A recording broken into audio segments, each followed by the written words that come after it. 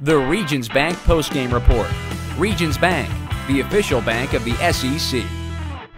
Kony Ealy and company held Johnny Manziel in check, and Mizzou is heading to Atlanta because of that. Kony, what was the key to holding out down this vaulted Texas A&M offense? Man, first of all, I just want to give a good heads up to them, man. They got a great ball club over there, and the offense is outstanding. Defense came with it tonight too. Um, we just had to contain him. We had to go make plays on the ball. We wasn't worried about him scrambling. We knew what he was going to do. So uh, the defensive line, we did a great job of getting after him, and the secondary did a great job matching. How about this crowd here tonight? Unbelievable, 67,000 plus.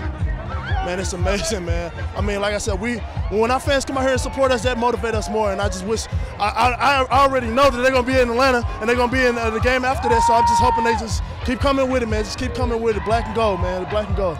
How can you possibly describe the feeling of this SEC East champs in just a second year in the league?